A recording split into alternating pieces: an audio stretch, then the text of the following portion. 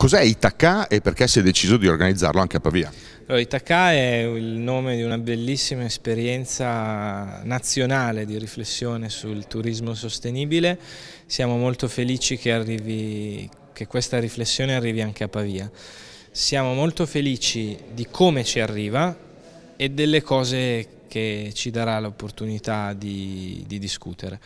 Allora, ci arriva, credo, e questo davvero è un valore al di là dell'interesse specifico delle cose di cui parleremo in questi giorni, a seguito davvero di una costruzione di una rete molto importante di associazioni, realtà, operatori che eh, in qualche modo si interessano di Pavia come città turistica. Queste realtà hanno costruito insieme questo programma, sono moltissime, non posso citarle tutte, è davvero che sia un momento di riflessione partecipato, ma realmente partecipato, perché proprio il programma è stato costruito in mesi di lavoro tra tutte queste realtà, è già un valore in sé. Abbiamo sempre parlato di partecipazione come valore aggiunto e credo che la materia della eh,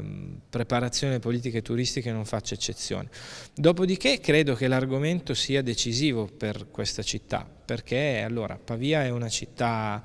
che penso debba avere la cultura e quindi il turismo come suoi cavalli di battaglia dal punto di vista di come la si presenta all'esterno. E però eh, spesso si parla di queste materie eh, dimenticandosi che il turismo è una materia di governo locale, ha bisogno di un livello di investimenti, ha bisogno di una capacità ricettiva e di proposta, ha bisogno di una sostenibilità dei suoi servizi, quindi è proprio una materia come tutti gli argomenti della pubblica amministrazione in cui pubblico, privato e terzo settore devono riuscire a organizzare un lavoro comune. Um, ci fa piacere parlare di queste cose in una città che sta registrando in questi anni i dati migliori, credo quelli del 17 sono i migliori del triennio, sia sugli arrivi turistici che, sulle, che sui pernottamenti.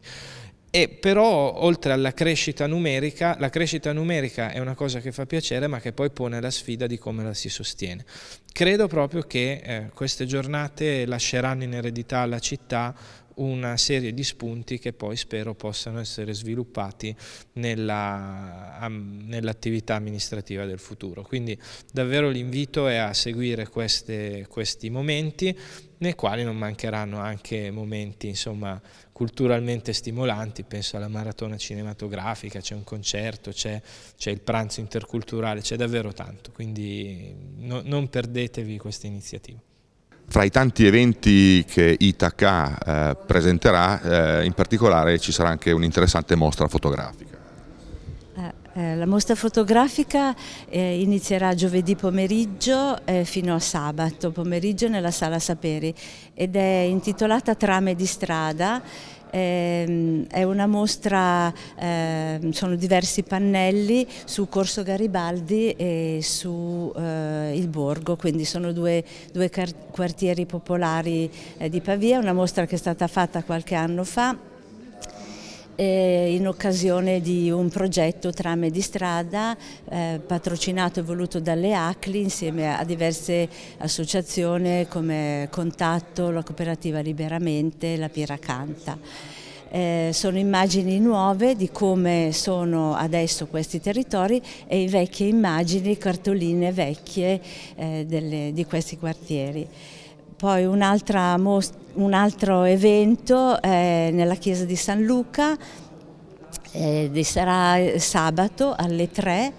eh, con la professoressa Luisa Erba che ci parlerà delle immagini sacre come devozione popolare sui muri eh, di Pavia, dei vecchi muri di Pavia.